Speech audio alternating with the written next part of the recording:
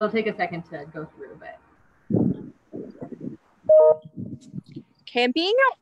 I can't see what I'm showing you very well, so just give me feedback if I'm holding something up.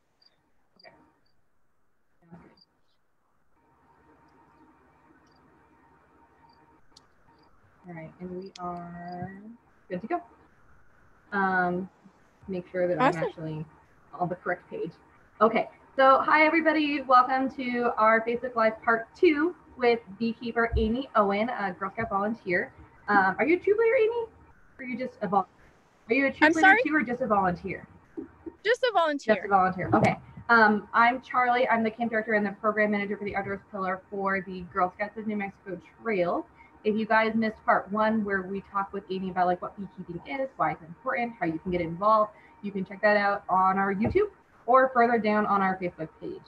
Um, so today, Amy is going to be taking because the winds are down, yay, um, on a live hive inspection, um, and she's also going to tell us what that is, like what a live hive inspection is. So thank you, Amy, again for doing a part two and a part one with us. Um, You're so welcome. What are we doing? So we're gonna actually get into the hive today. Um, so I'm gonna go ahead and actually, you know what? When you're doing a hive inspection, what's cool is here's my hive, um, and it's two boxes high. This is called a Langstroth hive, and you can see the bees coming in and out of the entrance.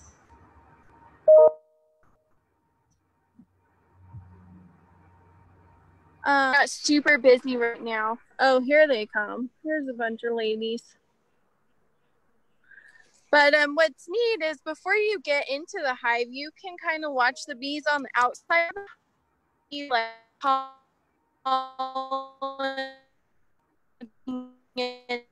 nectar.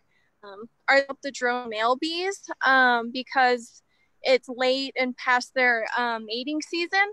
So you can actually tell a lot about a hive by just watching the bees for a while at the entrance. But um, before I crack the hive open, the reason we beekeepers do hive inspections is because, um, well, basically you're looking at your hive's health and you want to make sure they're queen right. So you're making sure you either find the queen or eggs. Um, you're making sure you don't see any signs of disease or parasites and um, yeah, you're just looking at the bees themselves and making sure they also look healthy and that there's good numbers and that they have enough um, food coming in. So this is called the top cover. Can you guys see me where I put you? Yes, uh, we can see you. Okay. And then this piece is called the inner cover.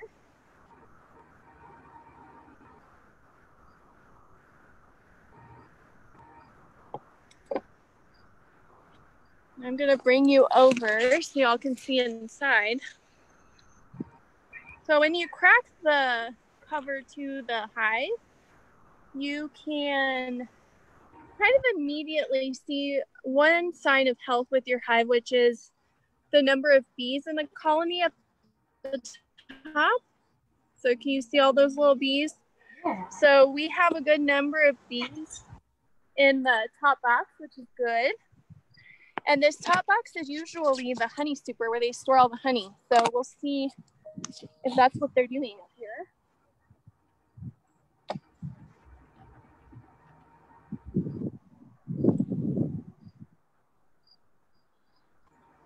And if you guys are wondering, you can see that tool that she's using, and she shows us the close in our video part one. She shows up a close up of the tool and kind of what and talks to us about what it's used for. Multi-purpose tool for beekeeping.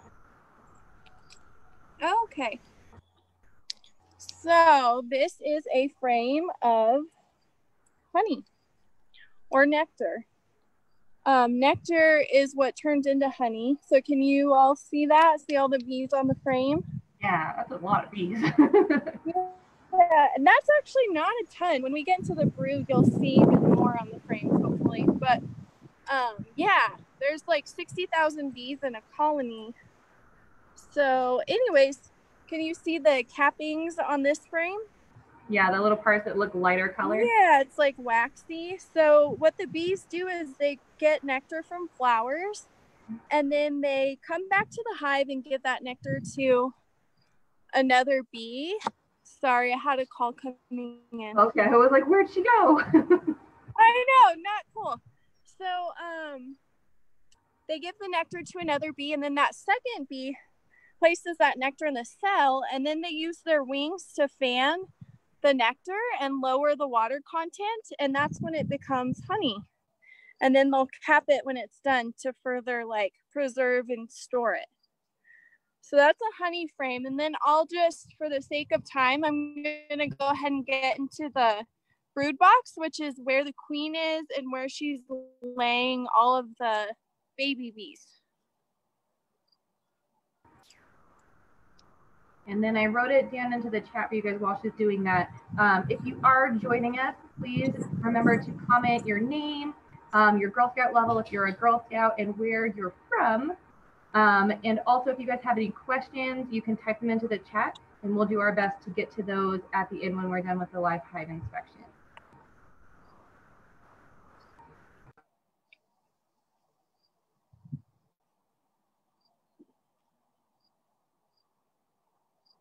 And then this obviously is my smoker. They get a little more testy when you get the brood box. But that helps calm the bees down.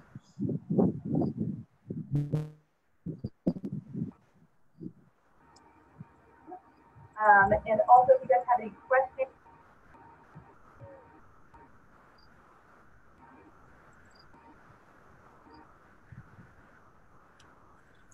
So, what do you think is in this frame? are those are those the babies, the eggs, or is that just more honey? No. I was hoping you could see some color. But there's a lot of different colors of pollen in this frame. And what's neat is um, the bees collect pollen, and pollen is mixed with nectar to feed the baby bees. It's called bee bread. And so when you come across a frame of pollen like this, you're often going to see baby bees on the next frame. So we'll go ahead and go to the next one. And yeah, if you guys have questions, go ahead and ask. Um, I wear gloves so that I don't spread disease from one hive to the other. They're like nitrile gloves, so I always switch them.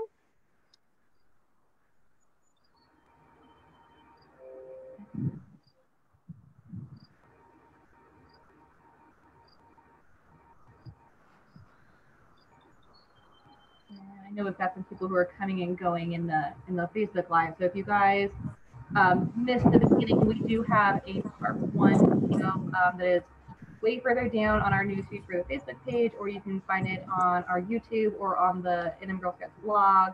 Um, if you guys want to watch part one, where Amy talks about the different tools that you use as a beekeeper, um, how to become a beekeeper, how to help out if you want to learn more about it or give back, and also kind of like what beekeepers do and why these are important. I lost her momentarily, but she'll be back. Uh oh. I'm sorry. no, that's okay.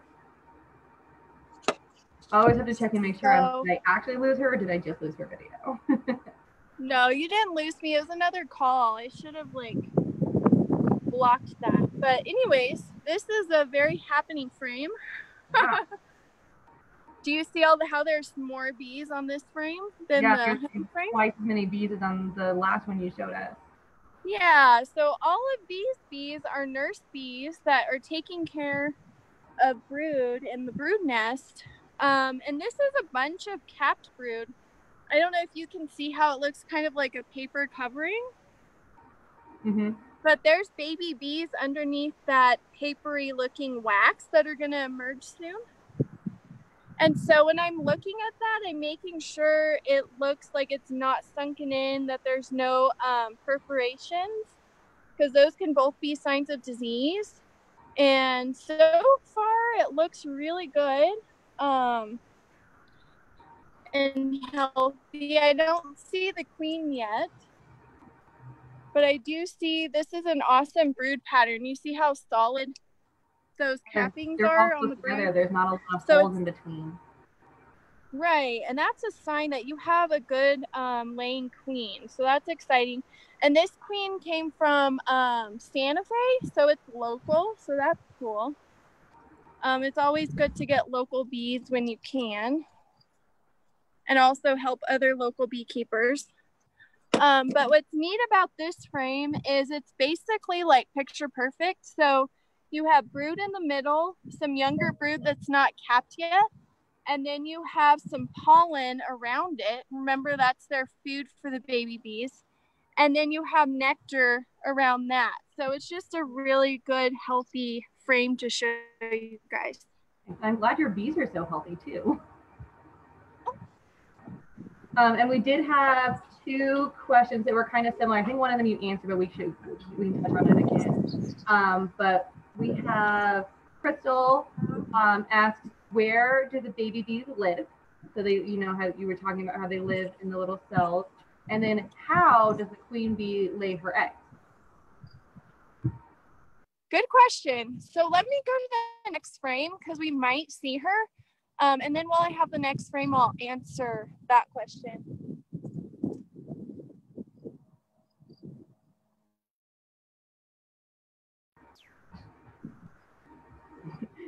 Sorry to everybody who sees that I had somebody coming in the front door. Um, so when they're babies, when they're eggs, and then those are like the baby quote stages. Oh, there's the queen.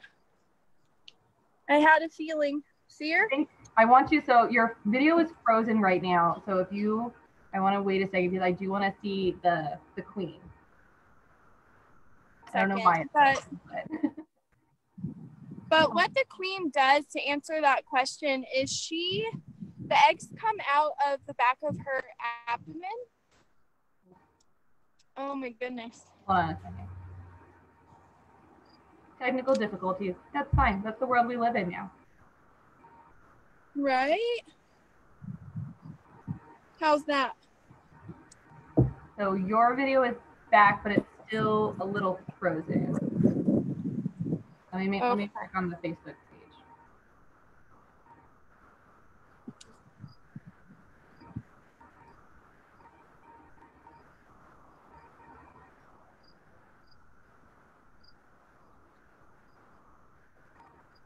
Sorry, everybody, for our technical difficulties.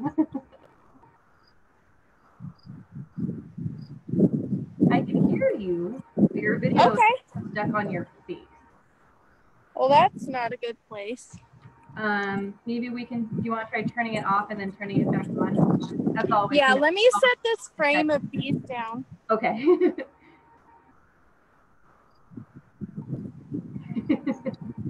Somebody says good old East Mountain cell phone reception. Ah, it's true. I was worried about that. Okay, let's see.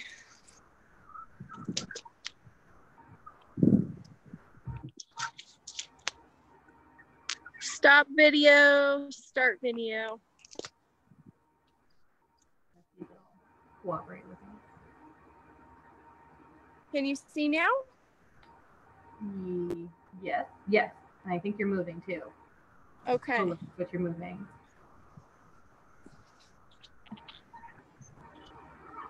This is what we get for living in New Mexico, where everything is so far apart.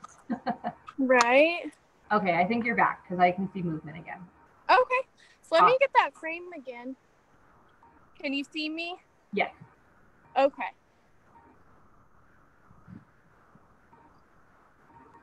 Like you're in an old school video game.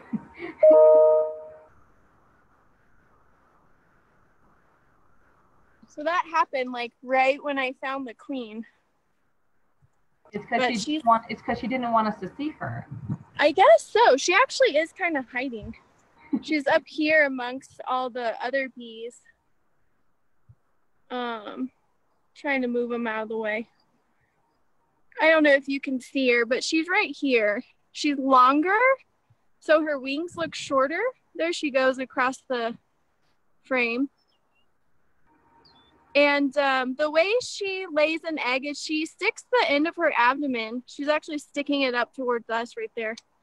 She sticks the end of her abdomen all the way into the bottom of a cell, which is, if you think about it, it's a long ways down there. And she has the long abdomen to do it. And once she gets her, oh, she's in a cell laying an egg right now. What? That's wild. Yeah, I wish you guys little, could see. The, uh, sorry, go ahead. But anyways, her abdomen, she just laid an egg. She had her abdomen all the way down in that cell, and she'll lay the egg in the bottom and center of the cell. And um, yeah, she's an Yeah, awesome interesting. queen. So I think we're having. I think we're. So you're on on my Zoom screen. I can see you moving, but it looks like we've got some people commenting that we're frozen on the. Right now, you're frozen where you're pointing at the queen, so that's a good one. But we're a little bit frozen on the the video again. Okay. So I hope well, I hope that answers your question about like how she lays the egg. I'm actually gonna get her back in the hive. Um, so I don't keep her out too long. But since we do, so while you're doing that, since we do still have you on sound, even if we don't necessarily have you on video, um, if you guys do have questions, feel free to put them in the chat. Um, we've got about 10 more minutes uh, for this one because we were just going to go for 30 minutes today. And then hopefully we'll be able to um, save the video and it won't be frozen. Uh, and if it is, we will be nice enough to, to try again with us. Yeah, the video is still frozen, but we, we can hear you. Your audio is still good. Okay, so I've seen a lot of the things I need to see for my hive inspection. Like the I've seen the queen and I know she's laying. Um what else? I see that the brood looks healthy. Um, I see that the bees aren't showing any signs of disease.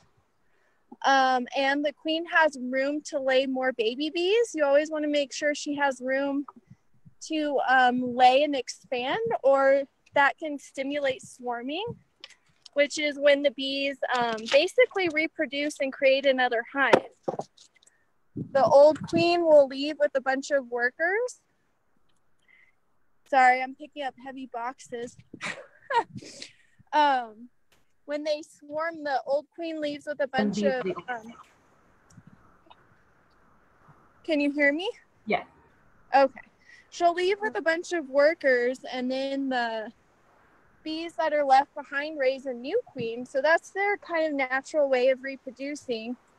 But as a beekeeper, you don't want to lose a whole colony of bees. So you're always trying to um, prevent them from swarming by giving them enough space um, so they don't want to leave.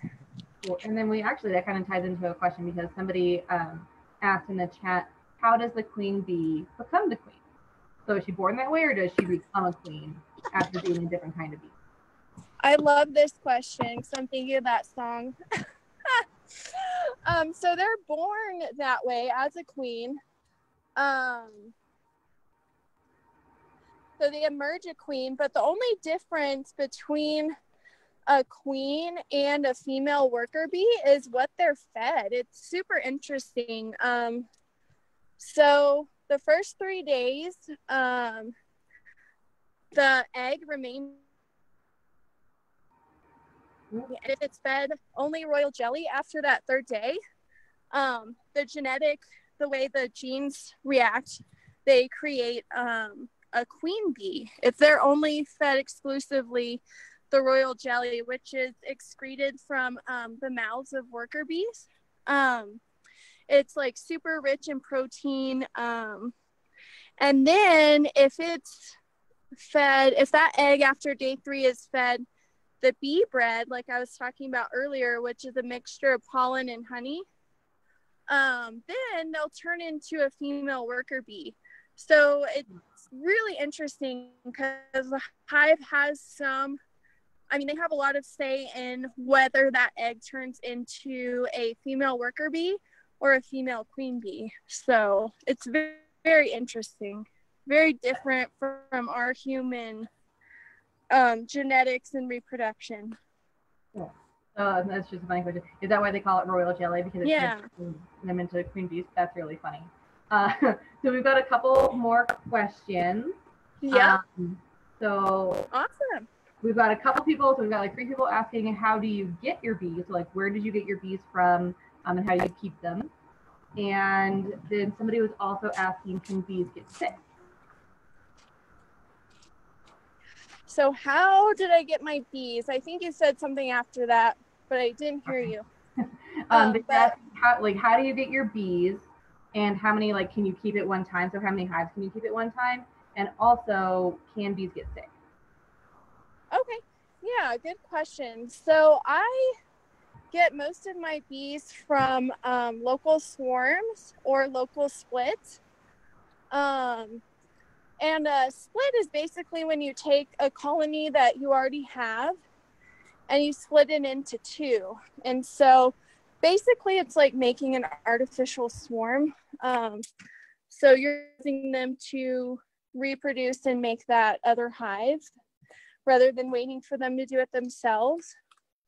And then a swarm is bees that have already done that. So they've left their hive.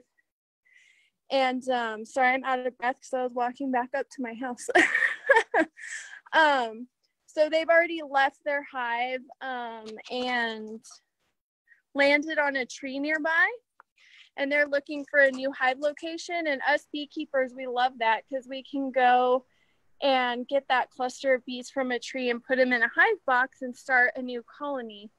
Um, but you can also order um, packages of bees, um, or you can get nukes, so small boxes of bees from like local suppliers. Um, but I always recommend going local because there's less chances of transmitting diseases from other places, and you're just supporting um, people nearby.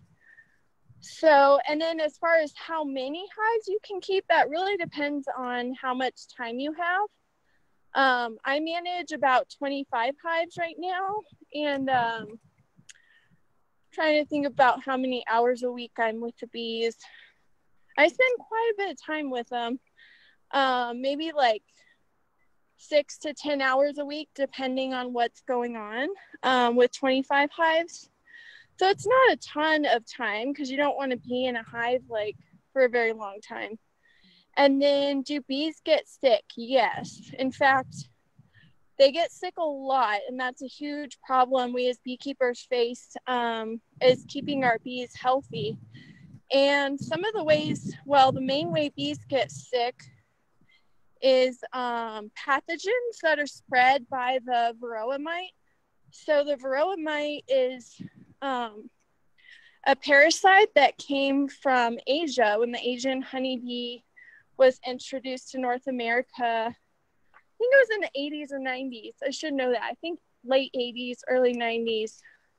But um, it brought with it the varroa mite, and they attach themselves to a honeybee and they feed on the fat bodies of the honeybee, and they also transmit things like deformed wing virus. Um, what else?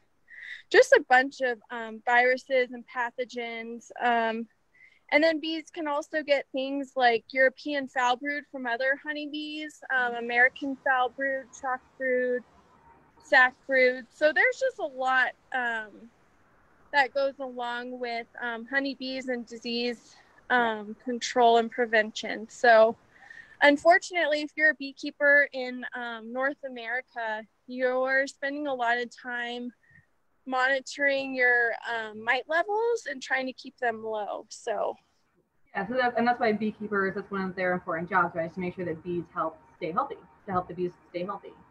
right, yeah, yeah. And it's pretty tricky these days. I would say it's beekeeping's a lot different than it was like 30 years ago when we didn't have such a big issue with um, mites. So, Okay. unfortunately. We've got two. I'm gonna go. We're gonna do three more questions. Um, so we've got two that are related to honey, and then we've got one that's kind of funny. Um, one that's kind of funny is they want to know: Are there king bees? I love it. So the only uh, males in a honeybee colony are what are called the drones. And the drones come from an unfertilized egg. So the queen actually has the ability to decide whether she's going to lay an egg that's fertile or one that's um, not fertile. And if it's not fertilized, that egg she's laying, it'll turn into a male bee, which is a drone. And the only purpose of a drone bee or the male bee, which they can't sting, by the way, um, their only purpose is to go find a queen and try to mate with her and spread the genetics of um, that colony. So that's why you see them kicking out drones. Like I was saying, in the late summer, early fall, even late spring, you'll start seeing them kind of kick out the drones. So, um, but yeah, I love that. Is there a king bee? These are just okay. so different uh, from us. The two honey ones kind of go together. So they want to know how do you get the honey and do you eat a lot of honey?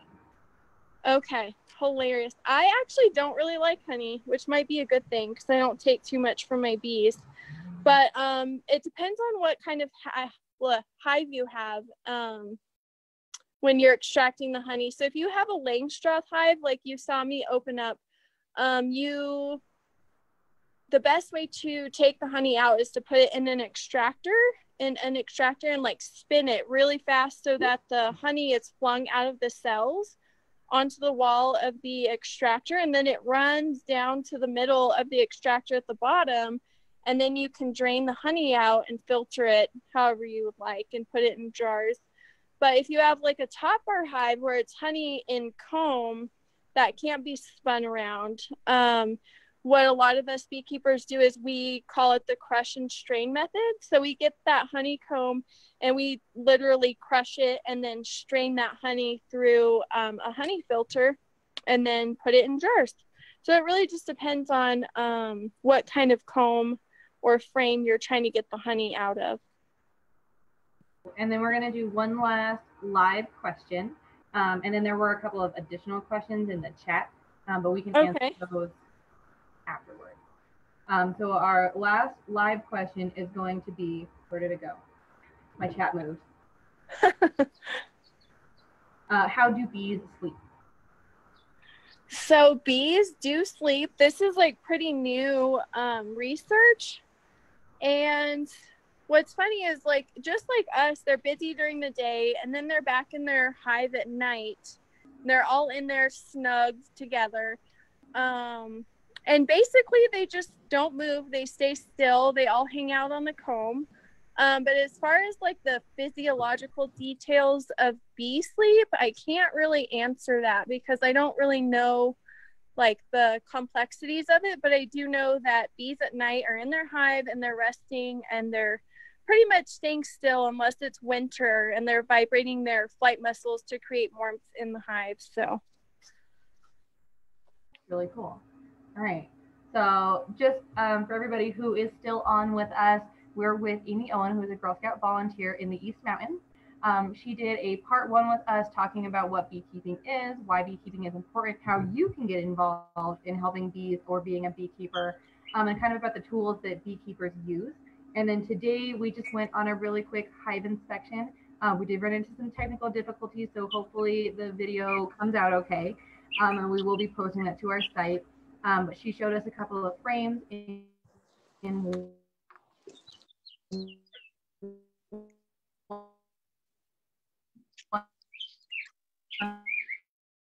of her hives. So she has 25 of them.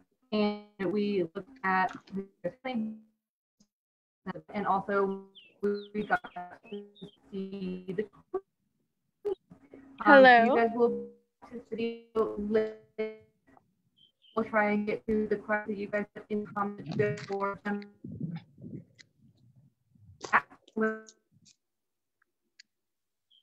Else you want to add, Amy? Your video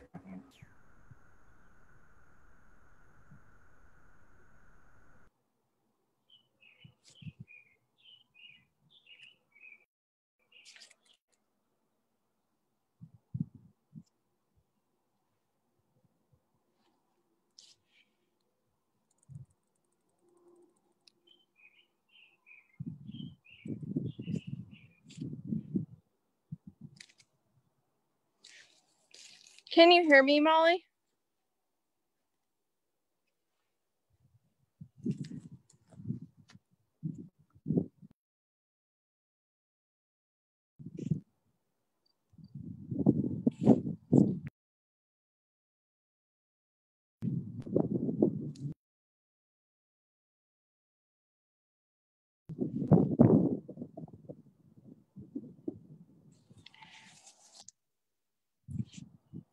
Can you hear me, Molly? I can't hear you.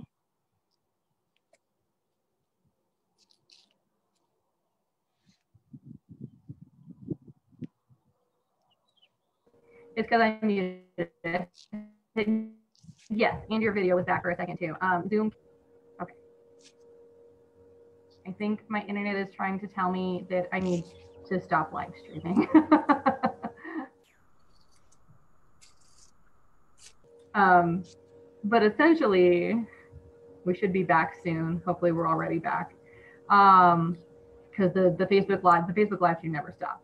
Um, but I was thanking everybody and letting them know about the part one video, and then I was asking if there was anything additional that you wanted to add.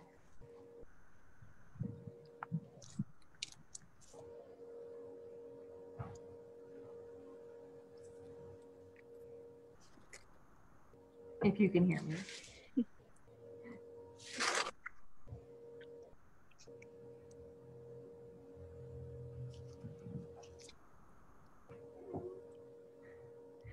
And I will also link the um, the YouTube video if, if it's up on YouTube. Otherwise, it's down below on our Facebook page.